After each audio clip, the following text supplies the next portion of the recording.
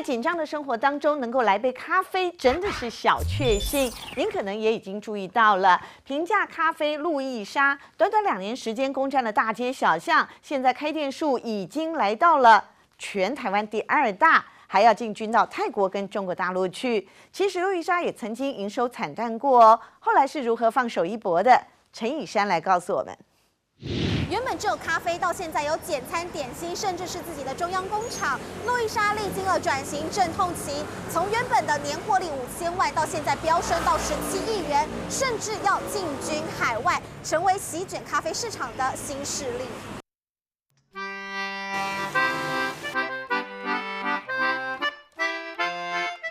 滑顺嘛，柔顺这样，就是它本本身喝起来并没有说会让人觉得很苦、很苦涩的感觉。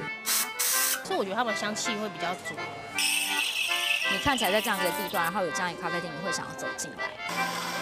他们口中的这个品牌，你应该不陌生，是近期窜红的平价咖啡路易莎。成立十二年，但短短两年内，全台店数从一百家暴增到三百多家，即将要进军泰国和大陆，成为继八十五度 C 后第二个插旗国外的平价连锁咖啡。成长秘诀是什么？都自己来。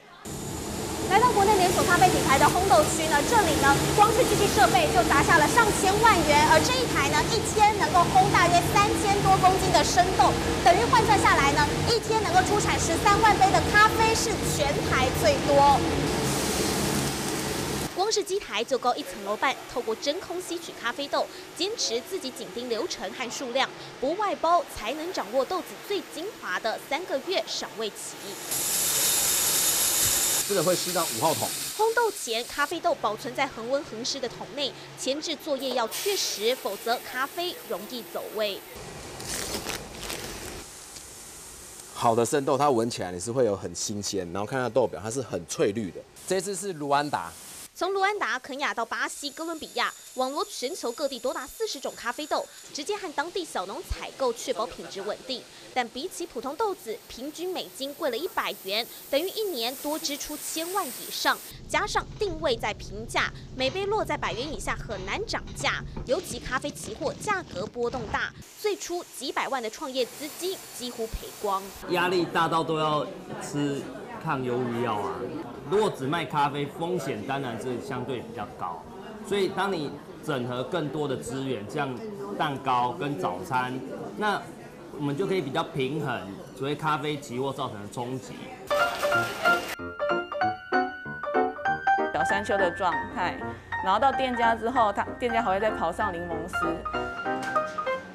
个黄嫩饱满的精灵塔成了路易莎甜点秘密武器。糖、柠檬汁、蛋黄、蛋白和奶油，只有五种原料在热锅搅拌，主打纯天然。饼皮同样手工制作，在极尽调配好的柠檬馅，冰镇冷藏才成型。看似简单，但光研发口感就花半年以上。董经理非常的怕酸，所以其实他第一次吃的时候，就是脸都皱在一起，然后就是说，哦，这个真的很酸，然后又说不错不错不错。但是我们就是一直去更改它的呃微调它的比例，用酸甜滋味带出口中的咖啡香，一天卖出三千个。还有烤布蕾、乳酪蛋糕，中央烘焙坊每天生产十种以上的产品，但甜食提升营收的力道不够，要冲破瓶颈，还要靠卖简餐。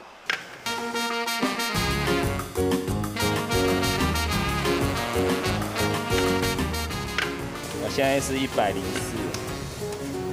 一百，一片百公克的厚实肉片，里面百分之八十都是猪肉，再将墨西哥辣椒和调料一起绞肉，在第一关就先做好调味。炙烧过了之后，它的油香会呃更提出来。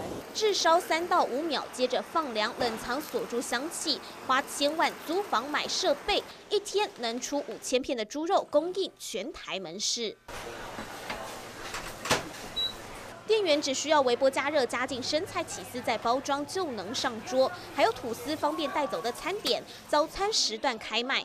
比起对手星巴克以咖啡为主，八十五度 C 重糕点，饮品为辅。路易莎多了咸食强项，尤其早餐占了餐食营收三分之一。明年要复制模式到对岸。星巴克是最近开的吗？半年，开不到半年，开不到半年。才四十岁的老板黄明贤带着一卡皮箱亲自考察，锁定深圳和上海两个一线城市，待了十多天，观察消费近百家的咖啡店和手摇饮，立刻发现市场跟台湾有段差距。在台湾，我们早上都一定要吃早餐，然后吃三明治。可在中国，他们主要早上吃的是小笼包，早餐可能比例会降低一些吧。那主要我们会全力在下午茶。它就是前面这个动作是闷蒸，就让它的味香气可以更加的出来。进军海外策略要调整，但原本的坚持不能少。店员每个月有培训考试，包括优雅的手势、桌面干净程度，还有咖啡色泽、味道，主考官都随时笔记。舌头会涩涩的，对，跟对，因为它会让舌头卡卡的，就是不舒服。应该它肝太紧张，所以冲太快了。你在专心冲的中间，还要一直持续的，就是跟客人有互动，这样。所以之前有吐槽过吗？哎，有啊，一定会。训练 SOP 化，才能确保不同人泡的咖啡味道相近。也从环境下手，原本小街边店以外带为主，转型成阅览间、交易厅的 K 书区，和对手做市场区隔，让他从原本年获利五千万飙升到新台币十七亿。一般咖啡店呢，为了要提升翻桌率，他们不希望客人在店内待太久。可是呢，路易莎反其道而行哦，他们在每一个座位呢都加装了插座，因为他们认为呢，只要在这段期间之内，客人有可能饿了又渴了，也因此他就有机会再度掏钱消费。他会觉得人很多，就代表嗯这店生意很好，他就愿意尝试。那我们也是要营造这样的氛围，让路过的消费者他经过，他觉得哇，这间店怎么生意很像很好，但他没有喝过这间咖啡店，他可能就会愿意进来买一杯外带的咖啡。最明显的是，其中一间分店因为加装插座，每天营收从一万八提高到三万元。路易莎十年磨一剑，现在登陆对岸，但等在前面的是老大哥八十五度 C，已经在大陆开了近六百家门市。路易莎不急，先在台湾摸索获利模式，累积声势，希望明年一举成功抢滩。TVB 新闻科生从薛孝安、陈以山台北采访报道。